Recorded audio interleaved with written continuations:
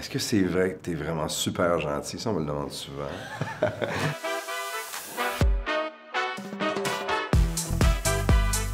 Oh mon Dieu, la liste pourrait être longue. Une qui revient souvent, c'est est-ce que tu trouves que tu en fais trop? J'ai des semaines qui font pas de sens des fois. Je suis heureux dans ce rythme-là. Je fais ce que j'aime dans la vie puis je suis chanceux de pouvoir le faire. Est-ce que tu t'ennuies de l'équipe de Salut Bonjour? J'ai gardé plein de bons contacts avec toute ma gang. Du temps où moi j'étais là, j'échange avec mon chum Guy Mongrain régulièrement. J'envoie des coucou à mon ami Yves-Marie Lortie qui anime la fin de semaine. Je m'ennuie de la gang. Moi, je suis un gars d'équipe beaucoup. Mais c'est le gars d'équipe en moi justement qui s'ennuie de ces gens-là. Mais le rythme de travail, la charge et tout ça, pas tout.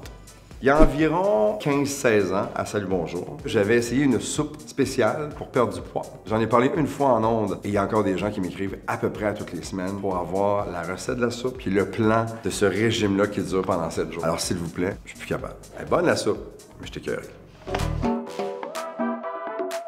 Demandez-moi euh, plus souvent comment ça se passe en affaires. J'ai une compagnie de, création de jeux et de contenu pour les casinos à travers le monde. Je suis fier de ce que j'ai réussi actuellement avec ma gang. C'est qu'on parle d'argent des fois parce qu'on est frileux ici au Québec par rapport à l'argent. Le succès ici, on doit le, cacher puis le camoufler. Je pense qu'on gagnerait tous ici à embrasser la réussite des autres, faire comme wow, tu sais quoi, s'il est capable, si elle est capable, je suis capable de le faire moi aussi. Une des choses dont je suis le plus fier, moi, c'est d'être papa. J'ai eu la chance de l'être trois fois. Si on me questionnait davantage là-dessus, j'aurais bien des choses à dire parce que moi, je suis bien là-dedans. Je serais pas qui je suis aujourd'hui si j'avais pas Mathieu, Sophie Charles dans ma vie c'est mon équilibre, c'est ce qui fait en sorte que je me lève le matin, puis je pars, puis je fais mes journées, puis je passe à travers tout ça. Ça n'a jamais été une charge de travail que d'être père. Pour moi, c'est un grand plaisir, puis dit que c'est le fun, puis dit que c'est beau, puis je suis juste bien là-dedans.